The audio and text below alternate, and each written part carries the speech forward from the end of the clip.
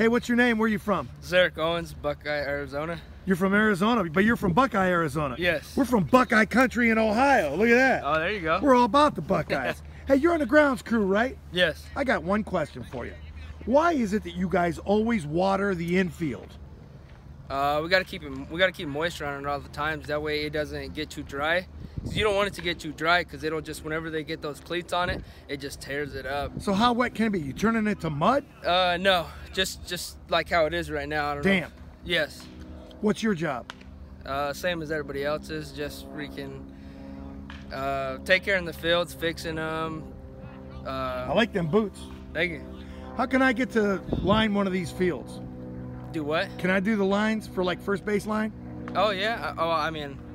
Is it paint or is it chalk? No, it's paint. But I gotta have a pair of them boots though first, don't I? Yeah.